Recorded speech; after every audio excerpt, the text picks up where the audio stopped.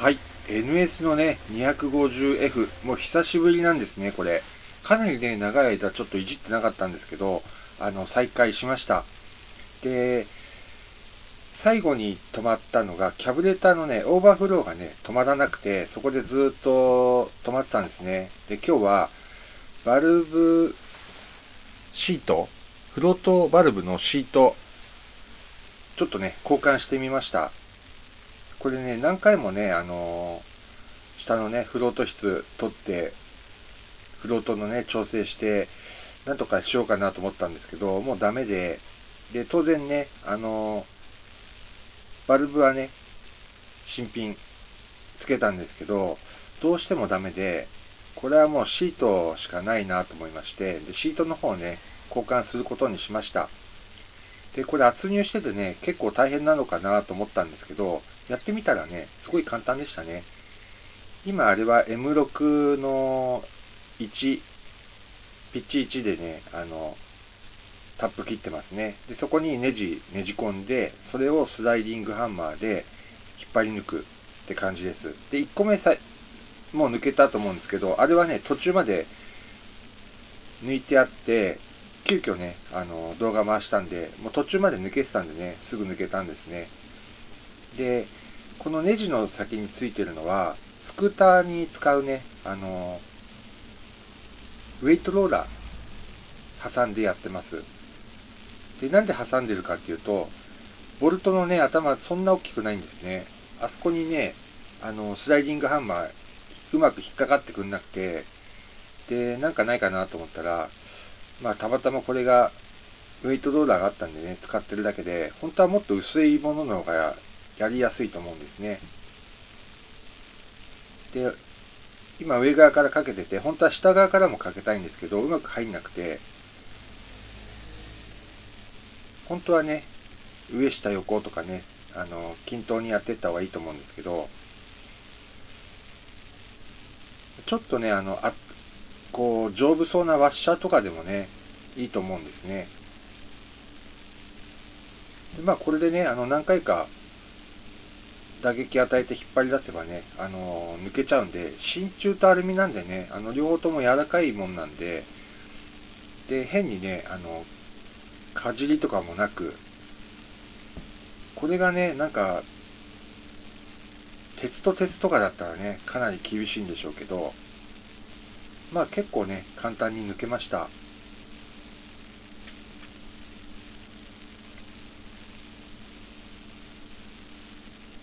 で、これ今ね、下からこうかけたかったんですけど、隙間がうまく空いてなくて、まあ、万力のね、押さえ方も良くないと思うんですけど、まあでもね、あの、上がやってるだけでも抜けるんで、で変にね、あの穴をね、キャブレターの方の穴をおかしくしちゃうとね、いけないんで、本当はね、均等に上下、右左ってやっていった方がいいと思いますね。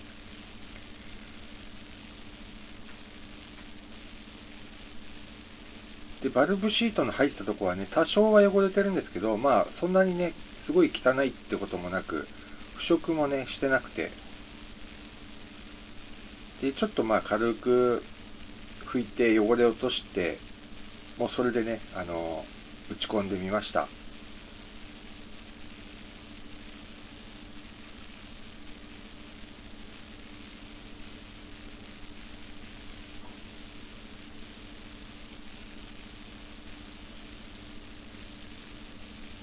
真鍮なんでねあの微妙なこうあんまり普段ね持たないような部品なんでね重さがね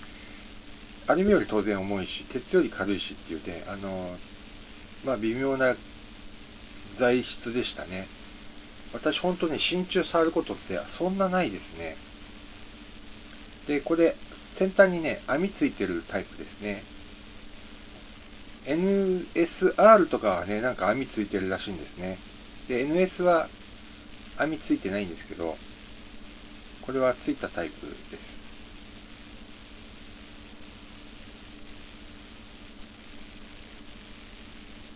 で本当はねなんかこう油圧とかのね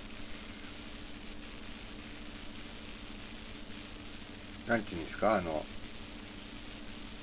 力かけていくやつ。あれで本当はやった方がいいんでしょうけど、まあ、それは持ってないので先端から叩いてね打ち込むって感じでやってみました。で真鍮ってねアルミよりは硬いと思うんですけどまあ柔らかい方のね金属なんであんまりねあのガンガンやるとすぐに形変わっちゃうと思うんですね。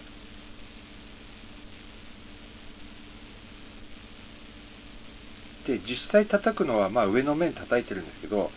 あの上の面って別に正直どうでもいいと思ってるんですよ私は。バルブが当たるのってそのもっと奥の方のね穴の奥の方の方なんで今触ったところですね。そこはね別に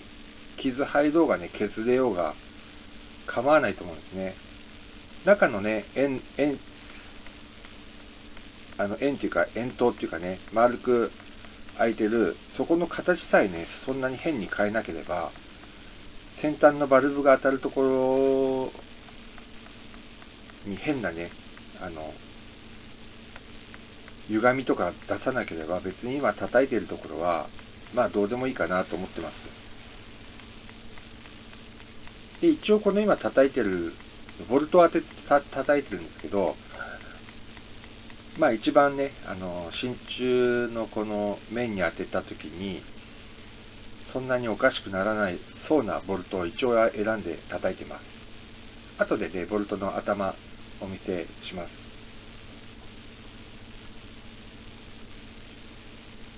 今相手がねあのアルミなんでねあのあこれですね。これで叩いてるんでまあそんなにねあの表面のおかしくなったりはしなかったですね。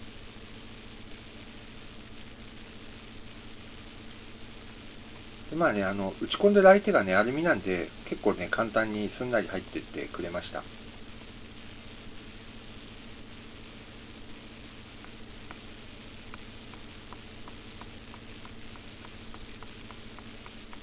これキャ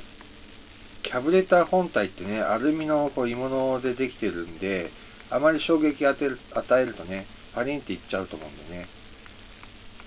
でこれ叩いてると音が変わるんですね。奥まで行くと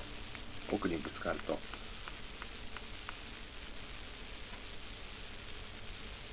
で一応心配なんでねこっち側もう一回叩いてみるんですけどもう間違いなくね音は奥まで行って当たってる音なんでここで叩くのやめて実際ねキャブレーター組んでみました。で今日ねあのこのキャブレターがなんとかねあのオーバーフロー止まってくれたんでエンジンかけてみたんですけどもうほんとね久々ですね。たもしかしたらね1年ぐらいかけてないかもしれないですね。で今日かけてみました。でそれもねあの動画の最初にあったと思うんですけど最後にもねまたエンジンかかってる動画ありますのでね、ぜひ見ていってください。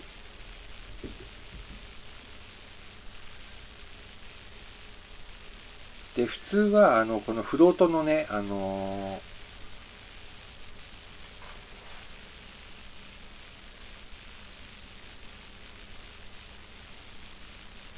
調整するところ。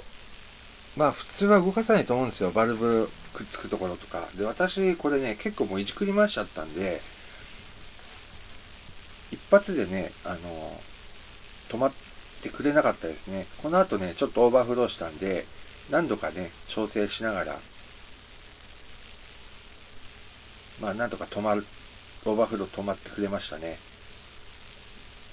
で、今この画面の右側も思いっきりね、吹いちゃって、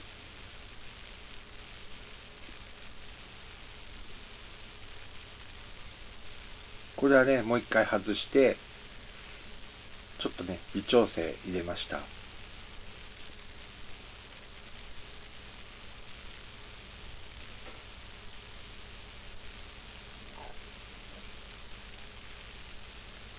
で実はこの時ねあの右側思いっきりガソリン吹き出してたんですけど左側がね完璧にあのバルブシートね閉じちゃって燃料回ってなかったんですね。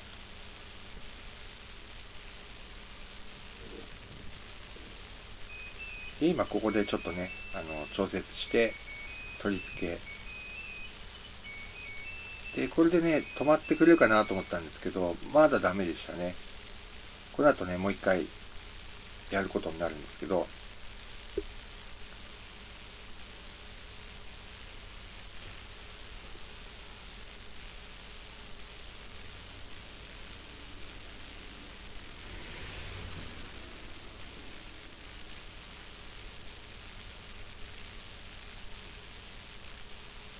まだね今まだ出てきましたね。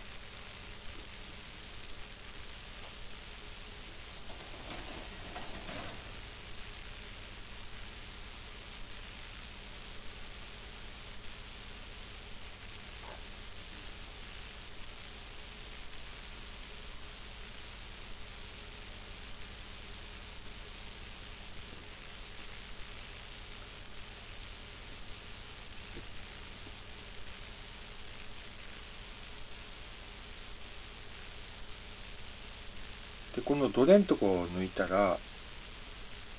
まああのこっち出てききましたね。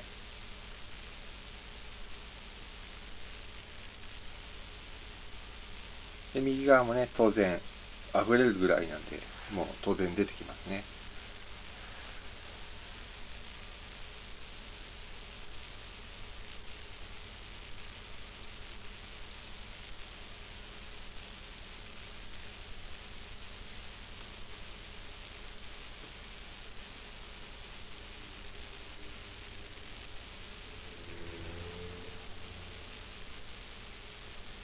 もうこれもね何十回って外してて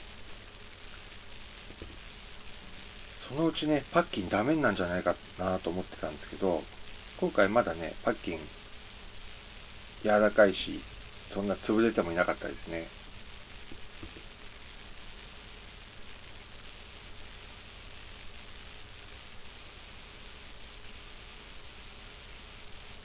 でここでもう一回このね爪の部分ちょっと微妙な感じで曲げてもう一回ね取り付けしてみます。でこの不動として止めてるネジってあの普通のネジと違うんですよね。ピッチが違うのかな。で多分ねホームセンターとか行っても売ってないんですよ。なんか ISO ネジって言ったかな。なんかね違う種類で。で私の知り合いの方があのレストア好きな方がいましてかなりの年配の方なんですけど、その人はもうね、そのネジをね、箱で持ってたんでね、あの、何本かね、もらいました。で、それで、つけ、なんとか今取り付けてるんですけど、最初はね、変なネジ入ってたんですね。多分、前の方がなくしちゃって、で、まあ、同じようなね、太さのネジ、無理やりつけてたんだと思うんですけど、まあ、ネジ山もね、なんとか生きててくれたんで、よかったです。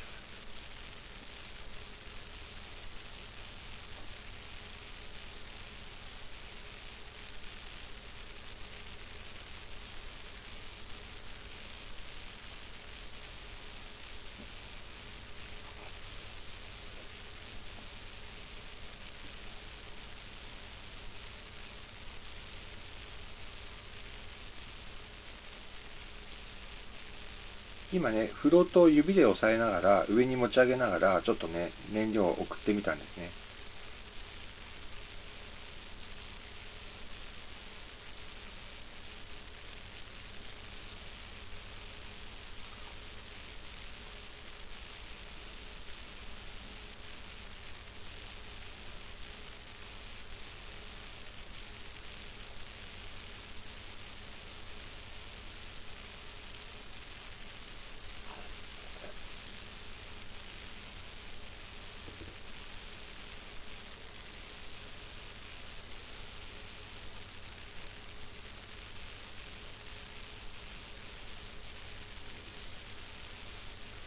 今これで燃料を送り込んでるとこですね。でまあ上から溢れてこないし下のね下側からも出てるんで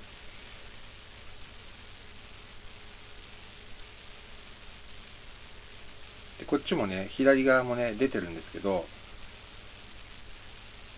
左側がね今ね実はこれちょっとねオーバーフロー気味なんですね。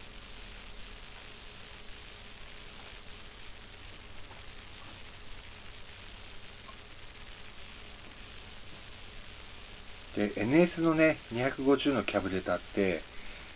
今ヤフオクなんか見ててもねあまりいいのがね出てこないんですよね。今度ねあの一回、まあ、そこそこいいのがあったらね予備で買ってスペアとしてね保管しておこうかなとか思ってるんですけど値段がねもう高くなってきてねちょっと手出しにくいですよね本当に。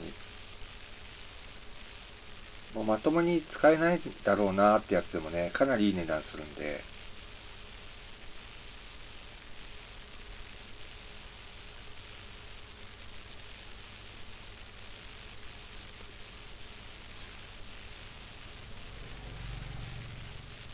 この左側がね後ろ向こう側からポタポタってね出てるんですね。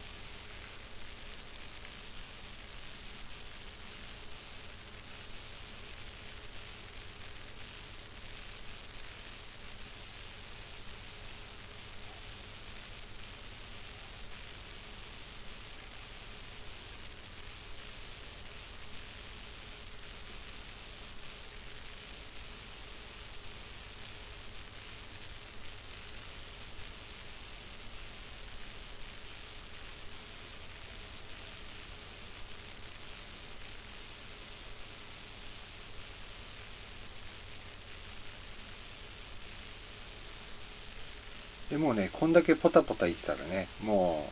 うアウトなんで今度左側をね開けて微調整してまあそれでねなんとか治りました。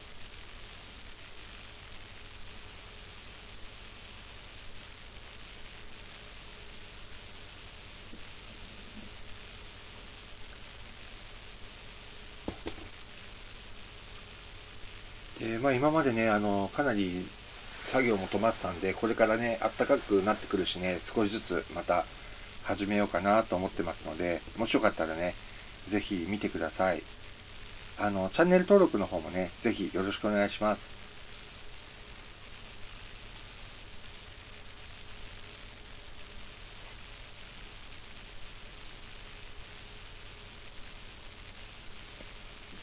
あと私が持ってない部品的にはサイレンサーがねもうボロボロなんで、まあ、変え変えたいなっていうのとあとあと何かあったかな。ウインカーはねあのこの当時のやつホンダのホンダのやつだと思うやつをかなりねいっぱい持ってるんででそっからねあの前側2つお揃いでなんか使えそうなのあったら取って、まあ、後ろ側もね2つ多分なんとかなると思うんで。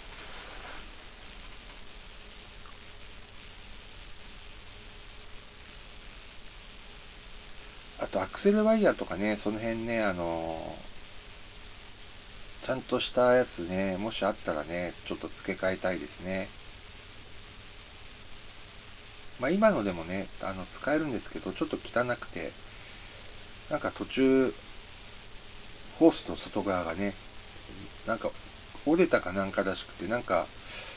接着剤かなんかでね固めてあったりしてあんまり見た目も良くないのでまあケーブル類もねできたら変えたいですね。でこれ今燃料を送り込んで。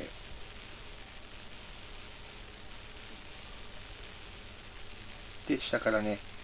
燃料出てきてるんで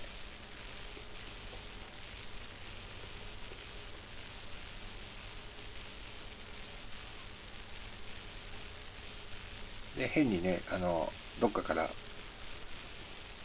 ガソリンポタポタオーバーフローもねしてないんでねこれで車体に取り付けてみました。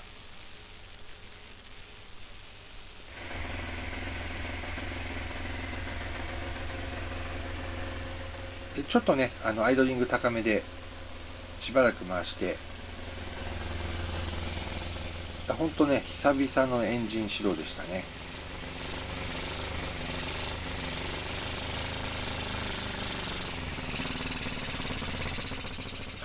どうも見ていただいてありがとうございました。チャンネル登録の方もぜひよろしくお願いします。